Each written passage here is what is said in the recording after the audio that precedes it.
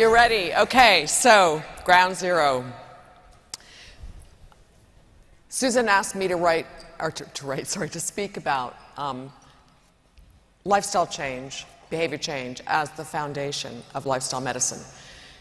And the, uh, the idea of ground zero came to me. And at the time, which is now months ago, which seems like ancient history in these times, uh, I used the tagline changing mindsets and behaviors for good, inspired by Jim Prochaska and Janice Prochaska and their book, Changing for Good, which is the story of the transtheoretical model, which is a vital theory for coaching. But as I thought more about uh, Ground Zero, a whole bunch of other ideas came along. And so I've now changed the title, and I'm modeling generativity and agility to generating new mindsets through conversations. If you're in the work of teaching classes, mindfulness, exercise, cooking, nutrition, you are actually delivering behavior change in those classes. But that's not the core work of coaching. And that's not what most of us do every day. What most of us do every day is have conversations. Conversations are our music, they're our work. And if we all imagine having generative conversations over and over again, we will all help ourselves and others get to our full potential. Now, when we're starting a conversation, we never know what's on the other's mind. And what may have come to mind for you when I said ground zero, fastly delivered from your hippocampus to your frontal awareness, is ground zero of 9 11. And this happens obviously in all conversations. There's something in the space, something to acknowledge and so, to model that, let's put our hands on our hearts and feel compassion for anyone in here, anyone listening from outside here, anyone today that is still feeling, and many of us are still feeling an enormous amount of pain at ground zero. And until we stop and pause and acknowledge the suffering, what Thich Nhat Hanh, the famous Viet, uh, Vietnamese Buddhist called suffering well. If we take a moment to help someone suffer well, we can then move into a generative conversation. So, our generative agenda then is to first define in a generative way ground zero, ground zero, then experience ground zero, and then talk about ground zero in the context of health and well being coaching. As a coach, I'm very aware that my role is to hold space, not to fill space. And so it's kind of ironic to be standing up in front of all of you, filling the space with data and knowledge. So I'm going to do my best to do this through holding space, and also we'll have some, inter, uh, some, some moments of just holding space. So, what I'm going to walk through in terms of different perspectives, broader ways to think about ground zero, are listed here. So, on the ground, we're going to um, use music uh, to explore the arc of life. We're going to talk a little bit about social determinants of health, which is the ground, the groundiest ground of our lives. On the zero, we'll talk about the definition of ground zero being the beginning, how electricians view zero as grounding, grounding to the earth, how quantum biologists, you may or may not have met any of those, there aren't too many, but they think of zero as quantum criticality, which is the energy state of transition, transformation from one phase to another. And then as we bring ground zero together, uh, we can see it through uh, the, the wisdom of self determination theory Maslow's self actualizing theory, neuroplasticity, then we can begin to see ourselves as ground zero. We can see our conversations as ground zero. We can see coaching as the mastery of ground zero. So I'm going to start with the arc of life. And this is, for me, one of the most beautiful pieces of music that allows us to do th- two things. One is to stop for a moment and experience, experience this music.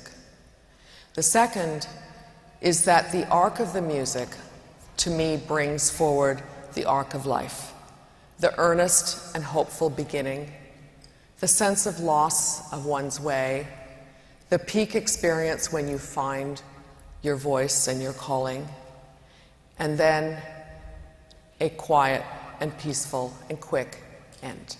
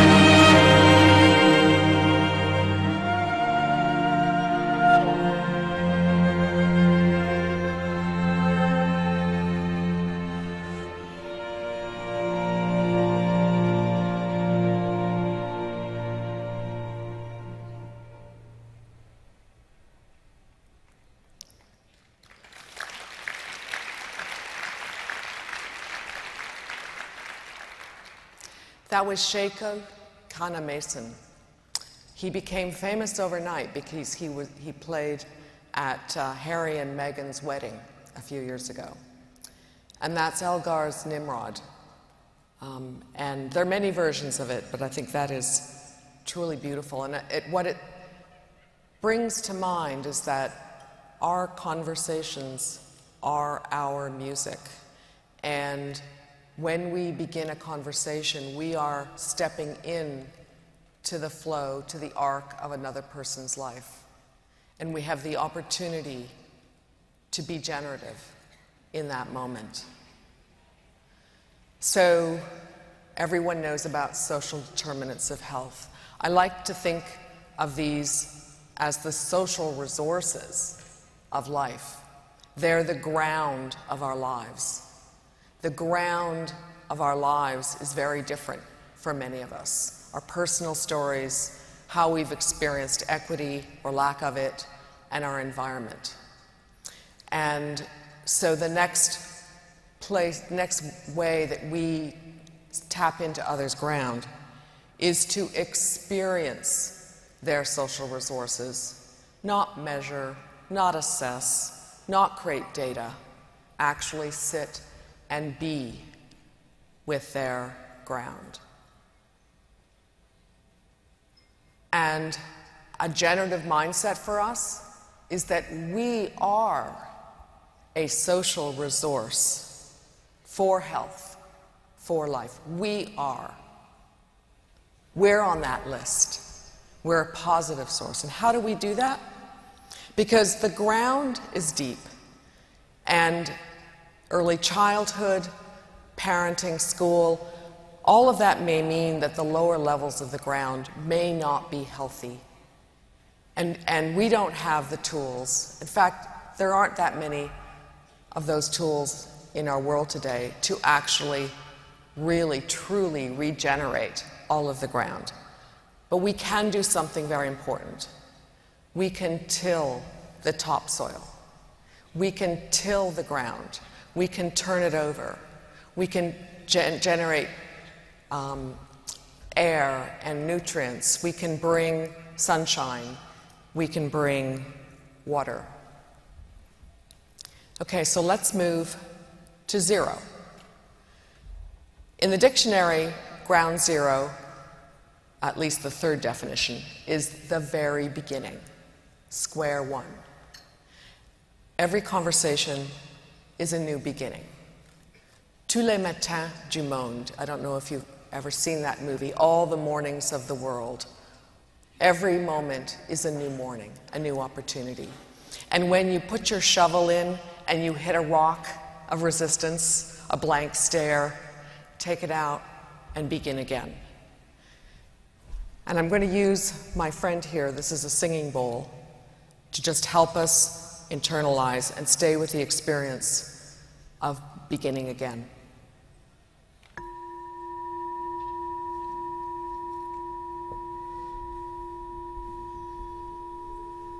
We can always begin again.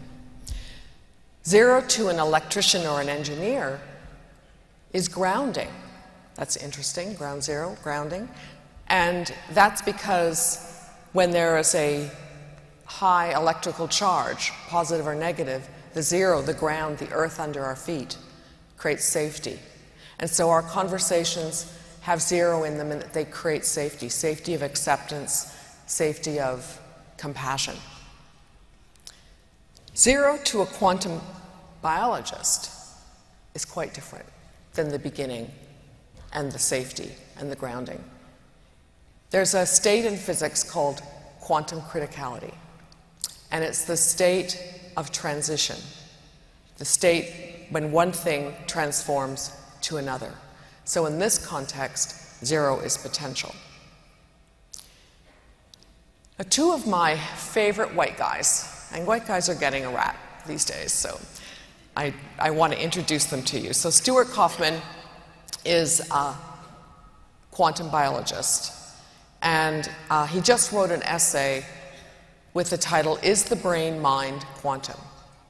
24 page essay, worth reading. But the, the research that he did not so long ago with uh, cancer uh, biologist, is, uh, and, and so quantum biologists are basically either biologists who become physicists or physicists who become biologists.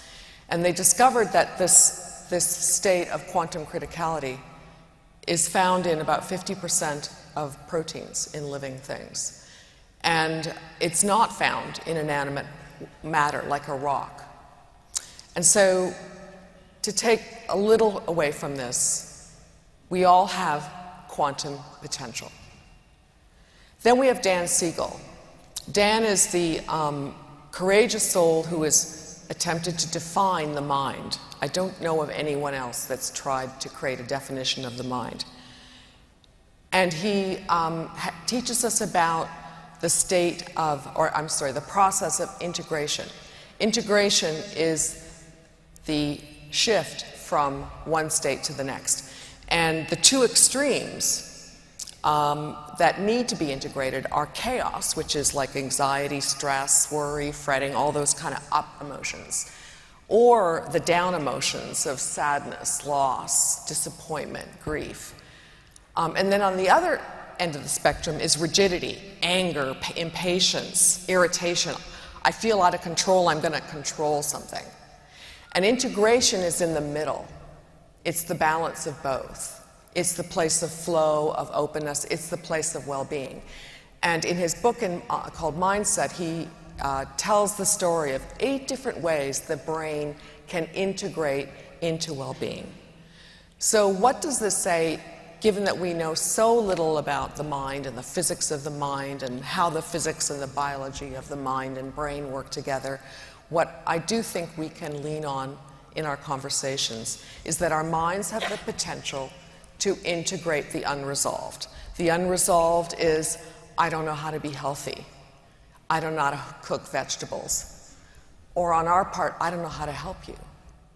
Or for women leaders, those of you in here will relate to this when, um, when we're made, not so much today, but in prior years, when we're made smaller um, as women than, than the white guys.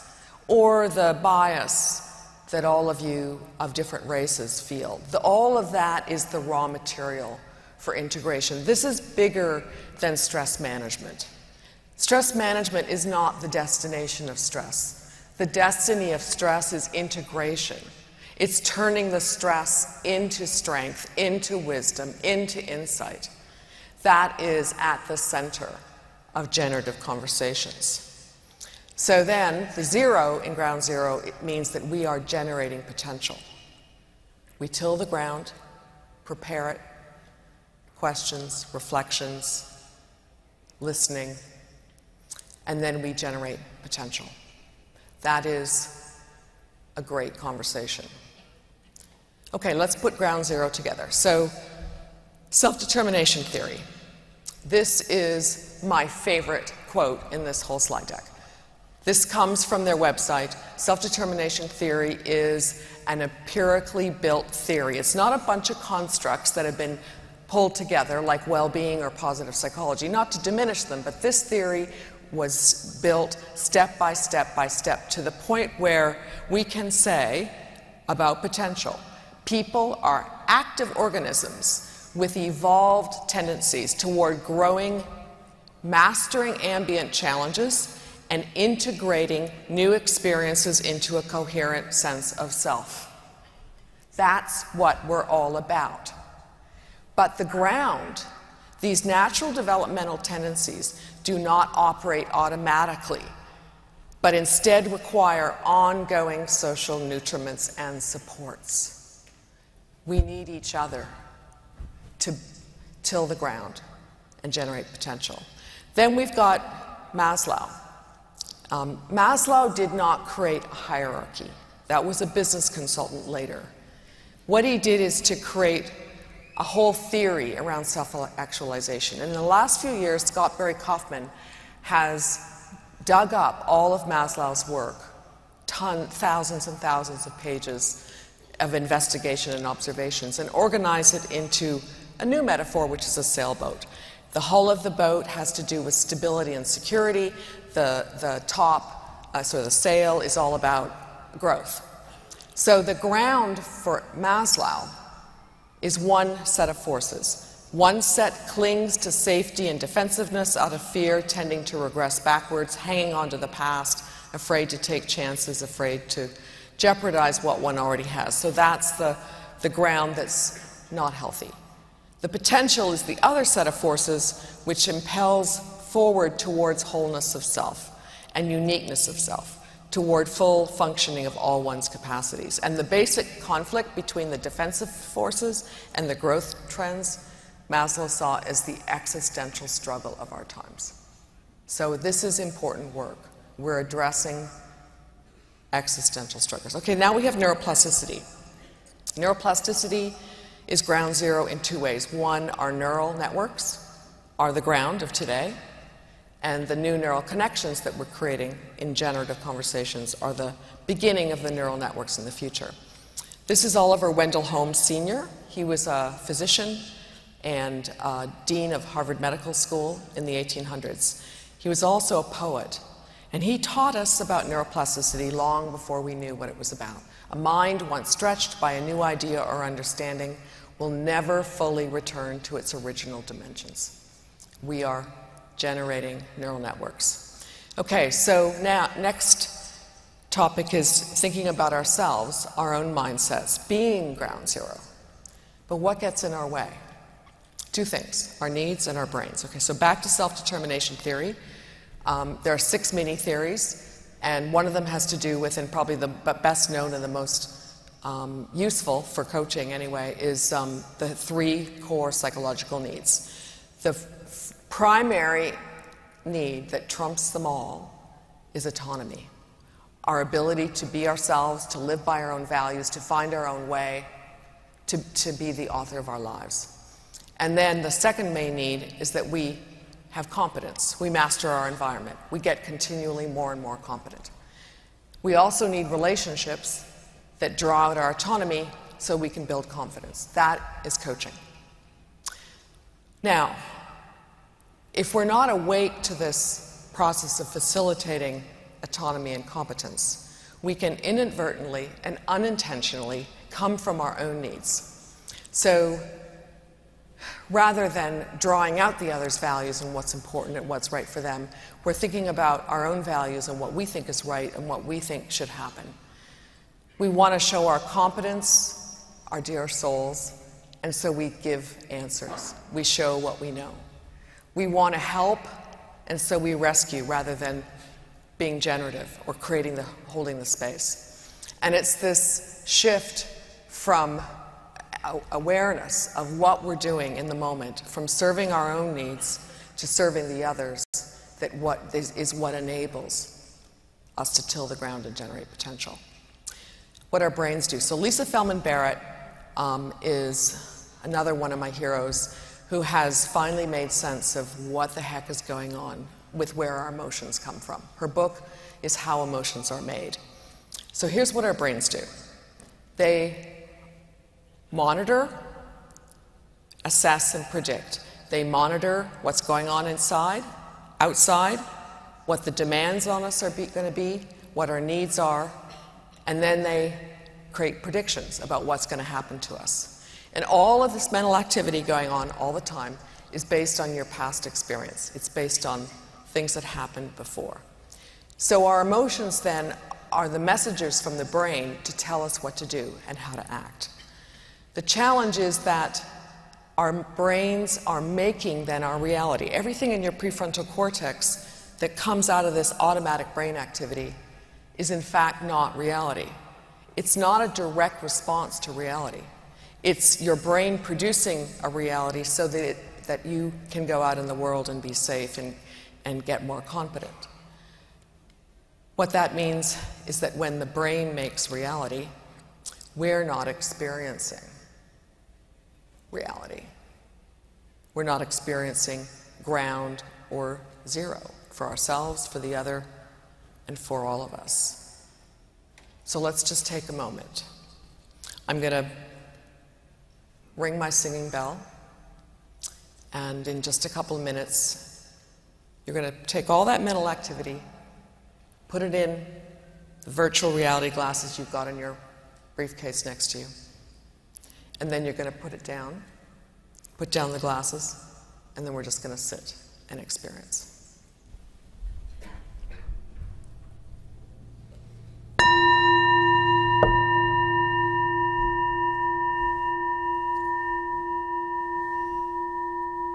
Everything goes in the glasses. So the frontal cortex is empty. Take the glasses off, put them down. Move your mind to the back. Your sensory areas are at the back of your brain. You can also go down to your heart. And from this place, experience your own ground and your own potential. And then expand out of that and experience the ground of all of us together. And experience the potential of all of us together. And from this place of ground zero, we can till the ground and generate potential.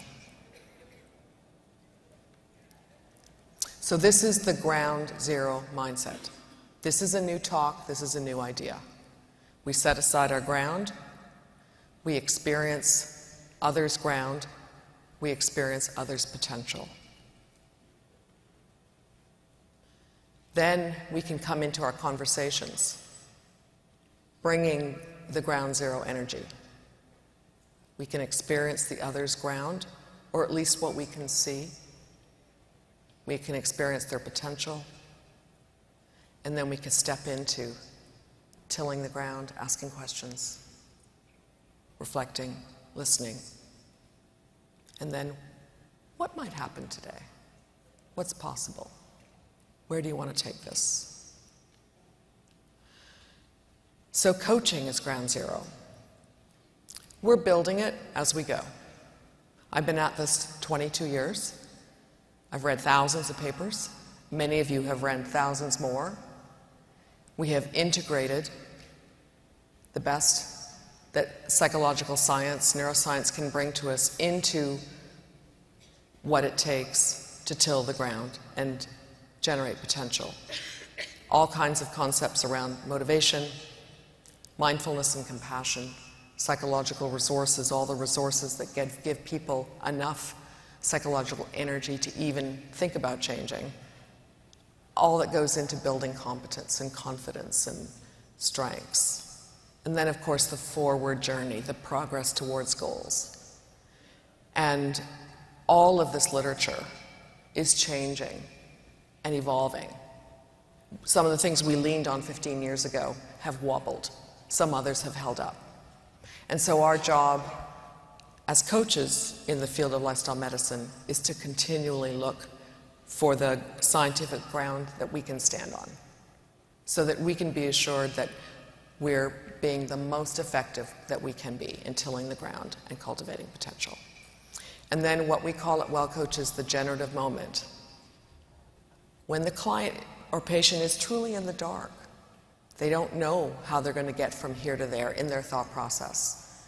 We help them figure out where they want to learn and grow today, where there's a chance for integration. They don't, we don't use that language with them, but that's what we're looking for. And then we help them generate and generate ideas and insights and perspectives. Have the integration. Doesn't happen every time. The aha, oh, yeah. The tension of the not knowing goes to a bit more peace of mind, a bit more equanimity. And then we run with that energy and turn it into action steps. So, as coaches, we bring our own histories into our roles. Actually, all of us do, right? We heard wonderful stories in this last few days. So, I wanted to just tell a very little bit about mine. So, here I am at age two, very happy on this tractor. I was born on a farm. And uh, uh, the two things to say about this one is I had a lot of autonomy. I really did want to drive and now that's a leadership drive. And I really obviously was much more interested in tilling the ground on this tractor than playing with my toys. The other thing I want to tell you about my story is my father, my dear father, was a farmer until age 40. And he shared the story with us, and you can see this in these pictures that there were three kinds of farmers, three ways to be successful as a farmer. The first was being good at fixing things, the engineer, fixing the tractors, fixing the fence posts. You know, what, you know, farms, if you've ever lived on one, is an endless, endless uh, maintenance project. Then there were the farmers who were good at business, buying and selling everything, including tractors. Selling, in, in our case, it was a dairy farm. And then there were the farmers who were successful because they loved and cared for their animals. And in our case, the animals, the cows, produced more milk. That's generating and realizing potential. And from an early age, I have gotten more satisfaction from helping others realize their potential than any other thing I've done. And that's really what we're about.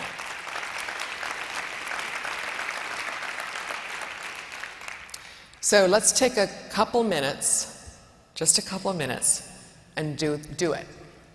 Let's till the ground and generate potential. If you want to play, you can go to menti.com on your phone, menti.com on your phone, and enter this code 2188-2066. I, I, we discovered that some folks had already entered some things, so, so let's move to the um, Mentimeter. Good, yeah, we're already started. So till the ground. What are three words, even one word, that describes you when you're thriving? Bring some air, bring some water, fertilizer, sun.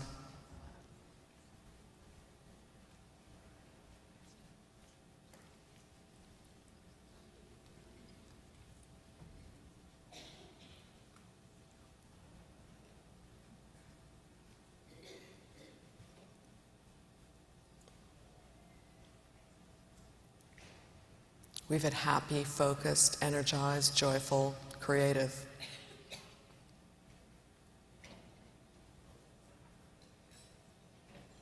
That's our zest for life. That's what we bring to our conversations. So let's go to the next question. Now we generate potential. What's one thing you want to improve to thrive more? Don't think too hard on this. Just what's the first thing that comes to mind? What do you want to get better at? Well being, mental noise, time, organization, distraction. Can you guys keep rolling the slide? There'll be a bunch more coming up.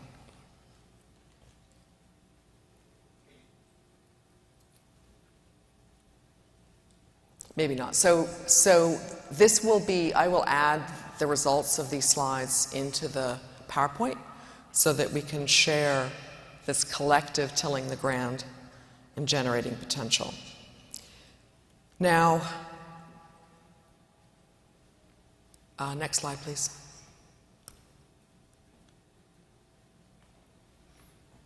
This is intentionally a blank slide. So,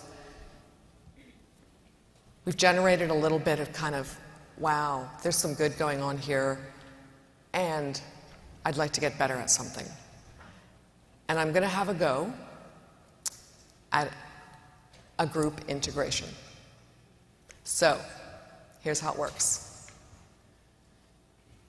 you generated some good, you thought about what you wanted to improve, and something came up that was uncomfortable, unresolved. It might be about these questions, it could be anything else. Bring to your mind that energy of feeling uncomfortable. Might be an emotion, might be a sensation. Maybe the emotion has led to some words. Just be with that discomfort for a second. This is in mindfulness about separation, psychological distance between you and the emotion and the energy. You're creating a little bit of distance. That's the first step towards integration.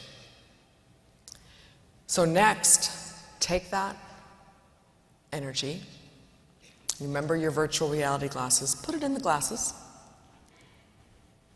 and put it the glasses down. I call this the declipse. The discomfort energy is actually eclipsing the opportunity for integration. So you've set aside that energy. Now we're going to move our minds around.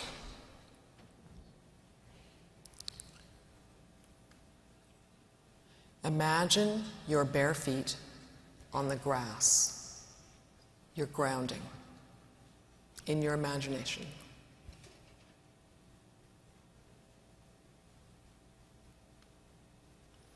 Imagine moving your mind to your heart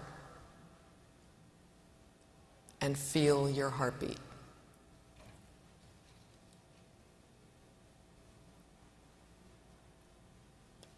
Now take your mind out to the infinite night sky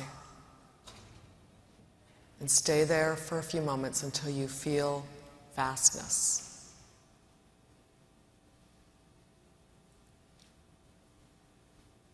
And from there, come back to the moment, bring your mind back to center.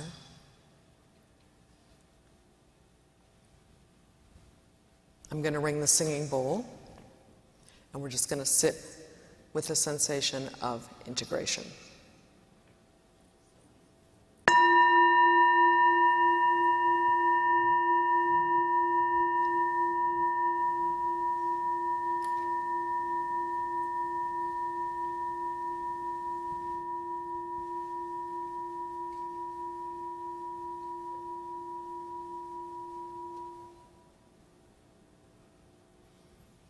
When we get integration, we calm down.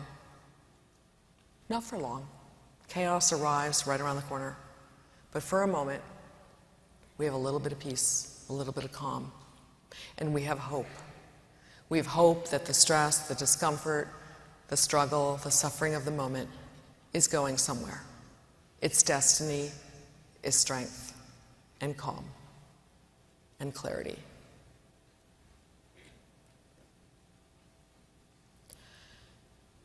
So let's, in this last few minutes, talk about coaching. Now, I can't see you all that well. I was actually thinking about wearing sunglasses, but, but I would like to invite everyone who identifies as a coach to stand up, wherever you are. Okay. Okay, great. And I'm going to ask you to stay standing up. And I know, and I'm speaking to the coaches, I apologize for this little private conversation, but I'm, I'm, I need to tell you guys that you're not used to being in the limelight. We're not normally on the big stage. And I want you to stay there, and I want you to listen to what I have to say. And then I'll we'll talk, talk to the rest of you when I get, th- get through this. So, all of you in this room, on video, all around the world, we have built our ground. And now it's our time to stand our ground. We have an evidence base that meets the standards of evidence based medicine. We have more than 100 randomized control studies, meta analyses, mostly in obesity and diabetes, but in chronic pain and cancer and fibromyalgia and rheumatoid arthritis and chronic uh, obstructive pulmonary disorder and on and on and on. We're even getting earlier, early data that coaching for people who do not have serious mental illness works equally as well as therapeutic models for depression and anxiety. We have data and a review on the dose, the optimal dose for coaching. Roughly 10, 12 sessions, 40 minute sessions. The NBHWC, Leanne, you're out there. We have a, lot of us are here from the National Board for Health and Wellness Coaching. We spent five years agreeing on one standard for one coach, not a lifestyle coach, not a health coach, not an integrative medicine coach, one coach, one set of coaching principles. Then, when we got there, we said, now it's time to build um, the standards. What does it take to be good at this, to till the ground, to generate potential? And then we built the basis for an exam. We partnered with the National Board of Medical Examiners. They are the best at writing examination items, having been through 600 of them. and then we formed our national board. There are now almost 8,000 of us strong, and we marched our way, led by the VA, to the AMA CPT panel. And we asked, please, would you recognize the coach? Would you give us billing codes? And they said yes in 2019. They were effective 2020. We've been back to the, C- the CPT panel because we had some counter forces. We've been talking about resistance. We've been talking about when you change the world, you're going to get backlash. We did get that backlash. We've survived it.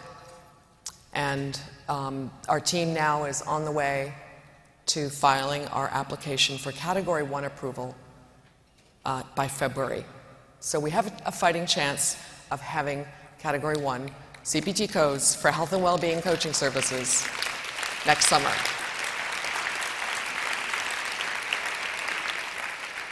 And I hope the rest of you won't mind me saying our next big frontier is that up until now, the payers don't yet know who we are.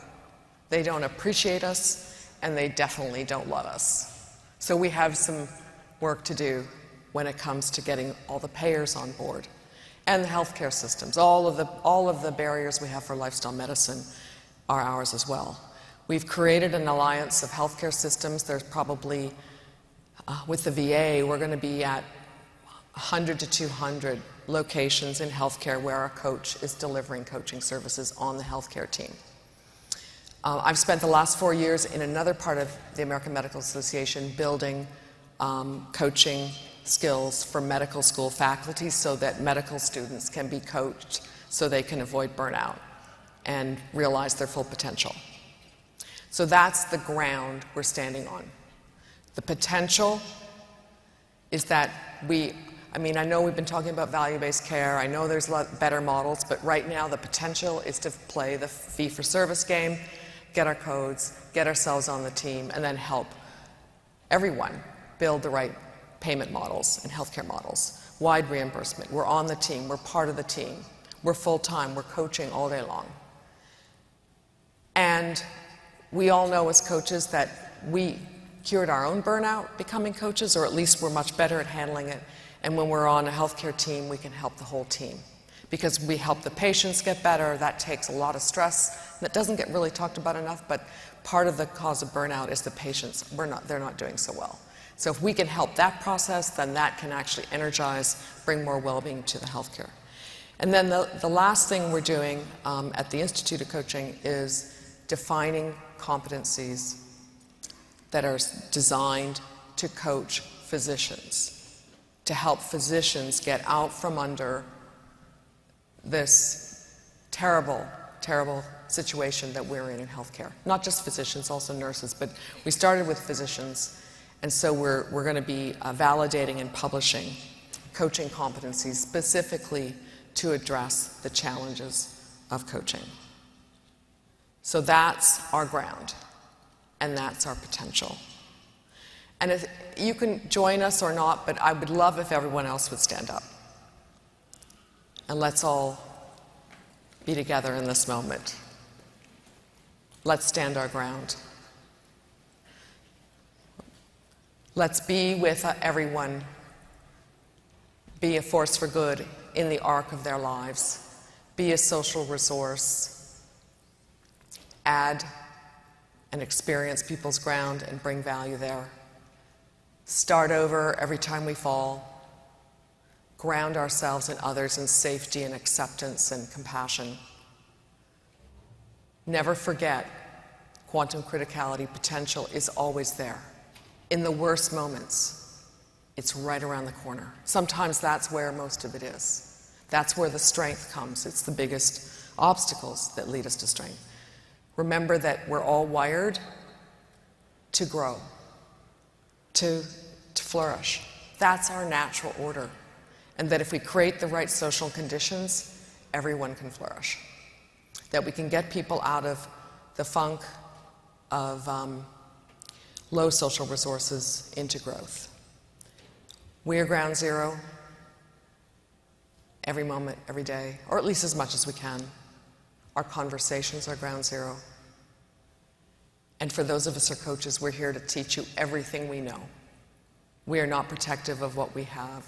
We want you to learn this. We want us all to till the soil and generate potential. What's the future then of conversations in healthcare? Let's make it beautiful. Thank you.